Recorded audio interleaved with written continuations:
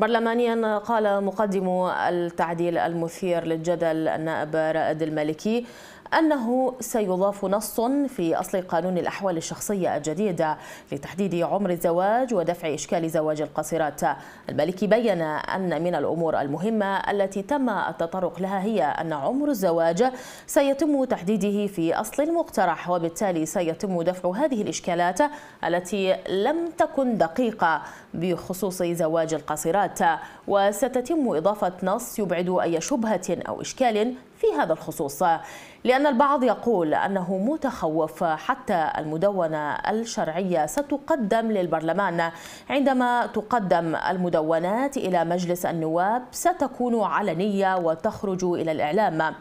وأشار إلى أنه لا يمكن مصادرة جميع الآراء. هنالك تفاهمات على صيغة المقترح وهنالك بعض النقاط ينبغي أن تحسم بعد الاستماع لبعض ممثلي المكونات وهم غير راغبين بإنجاز ما يسمى بمدونة الأحكام الشرعية في مسائل الأحوال الشخصية.